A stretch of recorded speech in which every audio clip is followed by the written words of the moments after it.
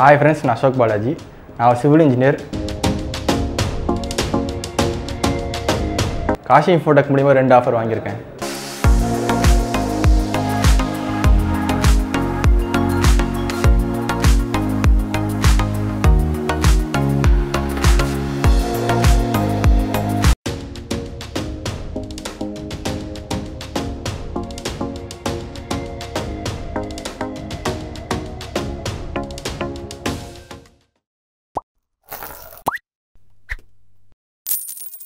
Sir ரொம்ப ரொம்ப சந்தோஷமாக இருக்குது நான் உங்களை மீட் பண்ணதில் நான் உங்களோட வெங்கட் ஃப்ரம் விக்கி டிக்கி அண்ட் காஷன் ஃபோட்டோங்க நான் இப்போ பேசுறது வந்து நம்முடைய அசோக் பாலாஜி பற்றி தாங்க சிவில் இன்ஜினியர் சாஃப்ட்வேர் இன்ஜினியர் ஆக முடியுமாங்க?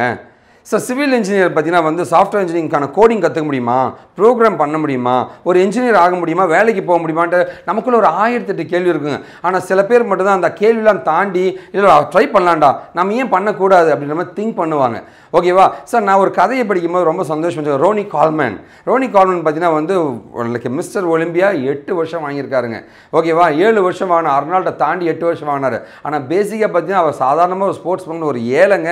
இதை தாண்டி பார்த்தீங்கன்னா வந்து அவர் என்ன பண்ணாருன்னா வந்து லைக் ஒரு அக்கௌண்டன்ட் அக்கௌண்டிங் முடிச்சுட்டு போலீஸாக இருந்துட்டு அதுக்கப்புறம் அவரோட ட்ரீமை மாற்றினாருங்க ஓகேவா நம்ம ட்ரீம் இது கிடையாது. நம்ம வேறு ஏதோ ஒன்று அச்சீவ் பண்ணு இந்த உலகத்தில் மிகப்பெரிய கோடீஸ்வரில் அவரும் ஒருத்தருங்க. ஸோ ஏழையாக பிறந்தோன்னா ஏழையாக வாழணும்னு கிடையாதுங்க. சரிங்களா? ஓகேவா? இந்த ஃபீல்டில் தான் படித்தாலும் இந்த ஃபீல்டு தான் இருக்கணுன்றதும் கிடையாதுங்க. ஓகேவா? உன்னுடைய விஷன் என்ன? நீ என்ன சாதிக்க போகிற நம்ம ஜெயிக்க போகிறோமா இல்லைன்னு ஒவ்வொருத்தருக்கும் ஒரு துடிப்பு இருக்கும். அந்த மாதிரி ஒரு துடிப்பு தான் என் தம்பி அசோக் பாலாஜிக்கு இருந்துச்சுங்க. ரெண்டாயிரத்தி இருபத்தி ஒன்று சிவில் இன்ஜினியருங்க இன்றைக்கி அவர் ஒரு சாஃப்ட்வேர் இன்ஜினியருங்க ஒரு கம்பெனி கிடையாதுங்க. ரெண்டு கம்பெனியில் ஆஃபர் வாங்கிட்டாங்க. ஸோ டபுள் ஆஃபர் வாங்கி காஷு லெஜெண்டரி டீமை ஜாயின் பண்ணியிருக்காருங்க அசோக் பாலாஜிங்க. அசோக் பாலாஜியை பற்றி நான் சொல்லணும்னு ஆசைப்பட்டேன்னா வந்து அந்த துடிப்பு அவர்கிட்ட இருக்குங்க.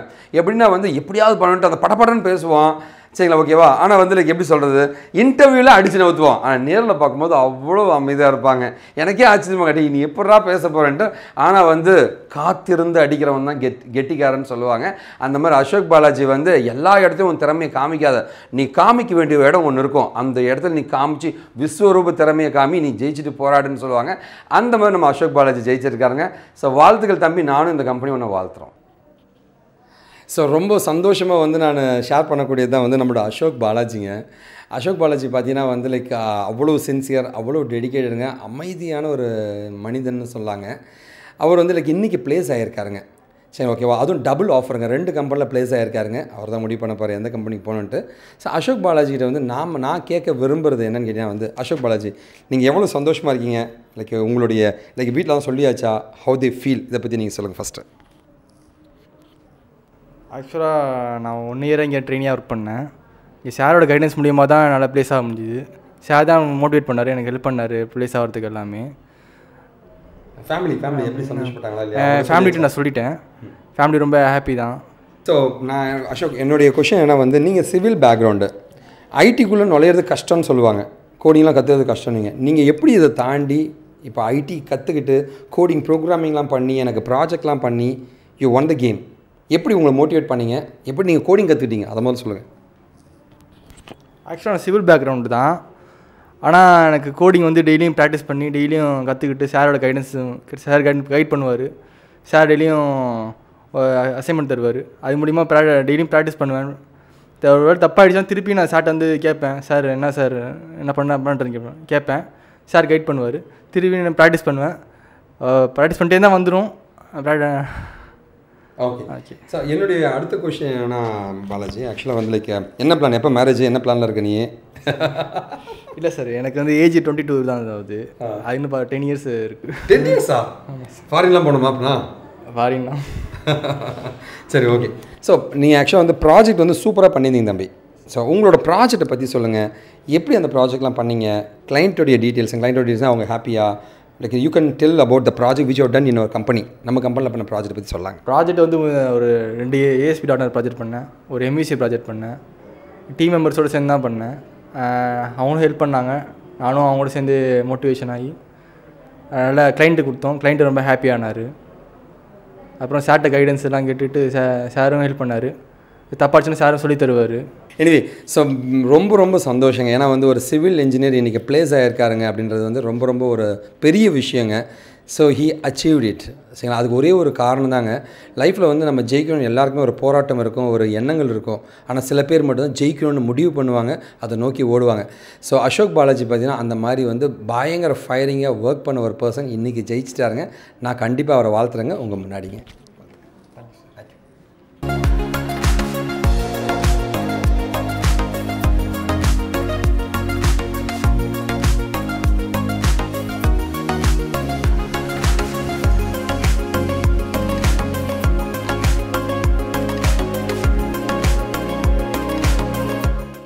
என் பேர் அசோக் பாலாஜி. என் நேட்டிவ் சென்னை தான். நான் ஒரு பேசிக்கல் சிவில் இன்ஜினியர் தான். டூ தௌசண்ட் டுவெண்ட்டியில் தான் நான் சிவில் இன்ஜினியரிங் படித்து முடித்தேன் படித்து முடிச்சதுக்கப்புறம் நான் சைட் இன்ஜினியராக தான் ஒரு வருஷம் ஒர்க் பண்ணேன். அப்புறம் கோவிட் ஒரு ப்ராப்ளம் ஆகி நான் அப்புறம் வேலையை கண்டினியூ பண்ண முடியல. அப்புறம் சாரோடைய வீடியோ பார்த்தா இன்ஸ்பயர் ஆகி நான் காசின் ஃபோட்டோக்கில் ட்ரெயினியாக ஜாயின் பண்ணேன். அப்புறம் சார் தான் நல்லா கைட் பண்ணார். எப்படி இது எப்படி ப்ராஜெக்ட் பண்ணணும் எப் அதில் மூலிமா ப்ரொஃபைல் பில்ட் பண்ணேன். அப்புறம் ப்ராஜெக்ட் பண்ணுறது மூலிமா தான் நான் நிறைய விஷயம் கற்றுக்கிட்டேன் அதுதான் எனக்கு இப்போ பிளேஸ்மெண்ட்டு கிடைக்கிறதுக்கும் ஹெல்ப் பண்ணுச்சு. இப்போ சாரோட கைடன்ஸ் மூலியமாக நான் நல்லா நல்லா ட்ரெயின் பண்ணி நல்லா ஒரு நல்ல கம்பெனியில் ரெண்டு ஆஃபர் வாங்கியிருக்கேன். சார் நல்லா மோட்டிவேஷன் பண்ணார் என்ன? அந்த சாரோட கைடன்ஸ் மூலியமாக தான் இப்போ நான் நல்ல நல்ல கம்பெனியில் ப்ளேஸ் ஆகிருக்க முடிஞ்சு இப்போ நான் இப்போ நான் ஒரு ஃபுல் ஸ்டாக் டெவலப்பராக ஆயிருக்கேன். ஸ்டாஃப்ஸ்லாம் நிறைய ஹெல்ப் பண்ணாங்க மோட்டிவேட் பண்ணாங்க. தேங்க்யூ ஃபார் காஷிம் ஃபோட்டக் team and thank you for Venkat sir interview வந்து சிம்பிளாக தான் இருக்கும். நீங்கள் ப்ராக்டிஸ் பண்ண பண்ண தான் உங்களுக்கு கான்ஃபிடன்ஸ் அதிகமாகும். டெய்லியும் சார் சொன்னதை ஃபாலோ பண்ணுங்கள் டெய்லியும் படிங்க. உங்கள் ப்ராஜெக்டில் வந்து கான்ஃபிடென்ட்டாக இருங்க. உங்கள் ப்ராஜெக்டில் தான் மேக்ஸிமமான கொஸ்டின்ஸ் இருக்கும். அப்புறம் சார் சொன்னதில் தான் மேக்ஸிமம் கொஸ்டின் வருது. வேறு எதுலேயும் வரல. எனக்கு தெரிஞ்சு நான் மூணு அட்டன் அட்டன் பண்ணேன். அதில் மூணு இன்டர்வியூலையும் சார் சொன்ன கொஸ்டின் தான் வருது. நான் வந்து சிவில் இன்ஜினியர் தாங்க. B civil engineering two thousand twenty pass two please give please ரெண்டு சிவில் இதுக்கு முன்னாடி நான் சைட்டில் தான் ஒர்க் பண்ணிட்டு இருந்தேன். அதுக்கப்புறம் தான் சார் வீடியோ பார்த்து ஒரு இன்ஸ்பயர் ஆகி இன்ட்ரெஸ்ட் எடுத்து தான் இங்கே வந்து சாக்லேட் சாப்பிடக்கூடாது சாப்பிட்டாலும் கவர் மட்டும் இங்கே போட்டுறாது. ஓகேவா ஆ ஓகே ஆ. ஆ ஏ good good sorry sorry sorry டிஸ் ஆ குட் இல்லை உன்னோட இன்டர்வியூ எக்ஸ்பீரியன்ஸ் எப்படி இன்டர்வியூல ஹேண்டில் பண்ணீங்க? என்ன மாதிரி கொஷின்ஸ் கேட்டாங்க? அதை பற்றி இன்டர்வியூ போனீங்கன்னா அது மேக்ஸிமம் உங்களுக்கு வந்து ப்ராஜெக்ட் தான் கேட்பாங்க. அப்புறம் சார் சொல்லி தான் கேட்பாங்க. அப்புறம் க்ரெட் ஆப்ரேஷன் ஒன்று டீட்டெயிலாக கேட்குறாங்க இப்போதைக்கு. அதை நீங்கள் இது மூணுத்துக்கும் கான்ஃபிடென்ட்டாக இருந்தீங்கனாலே நீங்கள் பேசுறது தான் வேறு எதுவும் மேக்ஸிமம் சரி ஓகே ஸோ என்னுடைய கொஷின் என்ன வந்து லைக் அவர்கிட்ட கேட்ட அதே கொஷின் தான் தம்பி. நிறைய வந்து டிமோட்டிவேட் ஆகிருப்பீங்க ஓகேவா நிறைய பேர் பிளேஸ் ஆகிட்டாங்கன்ற ஒரு ஒரு பிரச்சனை இருக்கும். அதுலேருந்துலாம் எப்படி வந்தீங்க? நெகட்டிவிட்டிலேருந்து எப்படி வந்தீங்க? ஆமாம் ஆமாம் அது மாதிரி இருந்துச்சு எனக்கு கொஞ்சம். ஒரு ஒரு மாதமாகவே இருந்துச்சு. இந்த ஒன்றாந்தேதிலேருந்தே இருந்துச்சு எனக்கு. அப்புறம் நான் டெய்லியும் ப்ராக்டிஸ் பண்ண ஆரம்பிச்சேன். டெய்லியும் போவேன். இது அப்புறம் ரெஸ்பான்ஸ் எதுவும் வராது. அப்புறம் டெய்லியும் டான்ஸ் பண்ணிட்டே இருப்பேன். சாரை பார்ப்பேன். சாரை அப்புறம் சார் ஏதாவது கைட் பண்ணுவார். அவர் திருப்பி இன்டர்வியூ போவேன். திருப்பியும் ஏதாவது ப்ராப்ளம்னா திருப்பி சார் கைட் பண்ணுவார்.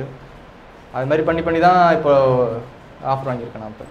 லைக் இந்த ஒரு நாலஞ்சு பேர் இருக்காங்க. அவங்க வந்து லைக் கோர்ஸ் முடிஞ்ச பின்னாடியும் இந்த ட்ரைனிங்லாம் முடிஞ்ச பின்னாடியும் நீங்கள் நம்பவே மாட்டீங்க. இவன் அசோக் பாலாஜி எப்பவுமே ஆஃபீஸ்லேயே தான் இருப்பான். நான் இங்கே இருந்தேன்னா இங்கே இருப்பான் என் கூட இல்லை அங்கே இருந்தால் அங்கே இருந்துருவான். அங்கேயே தான் வந்து ஏன்டா வந்துட்டு இருக்கீங்க? போய் வீட்டில் போய் படினா வந்து இங்கேயே இருப்பாங்க. புரியுதுங்களா? ஓகேவா சார் என்ன இன்டர்வியூ பண்ணுங்க. எத்தனை முறை இன்டர்வியூ பண்ணியிருப்போம் அசோக்? ஃபைவ் டைம்ஸ் சொல்லுங்க சொல்லு.